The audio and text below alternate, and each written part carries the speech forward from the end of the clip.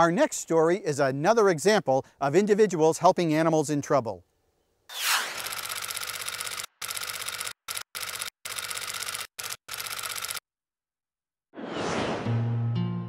At Rome's newly renovated historical zoo, now named the Bioparco, Chief Veterinarian Dr. Klaus Friedrich looks after some 80 red-footed tortoises confiscated from smugglers at the Rome airport. They were in a suitcase. Yeah? They are completely dehydrated.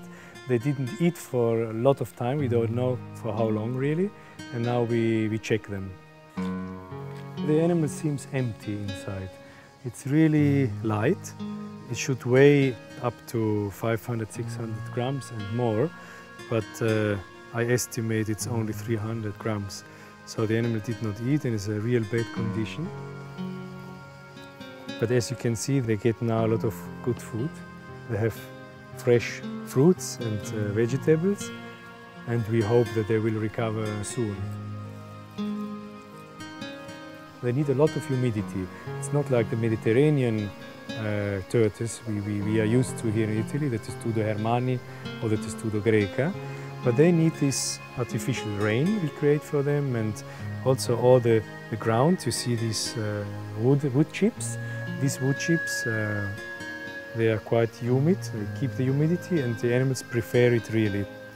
And you see how they recover with the right management. Dr. Friedrich says on the black market, each of these critters could be sold for almost $2,000 apiece. That's the biggest one of the group. He's a big old male. He could be also more than 40 years. He's strong, huh? And there, here you can see the reason for their name. No? They are red-footed, they have these red spots on their feet. Also being cared for is this large African tortoise, who is a special case for Dr. Friedrich.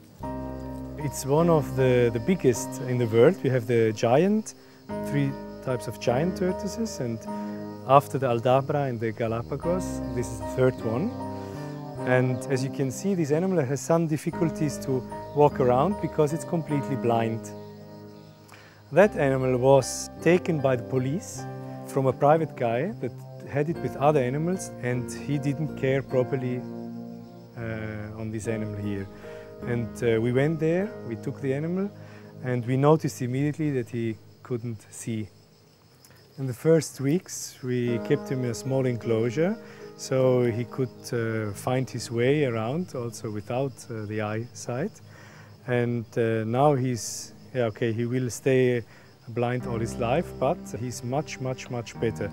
In the beginning, he was completely dehydrated. Uh, he was extremely underweight. And the keepers working with these animals with a lot of care uh, every day, uh, with everyday work, they managed to recover that animal this way. And uh, I'm quite happy about that.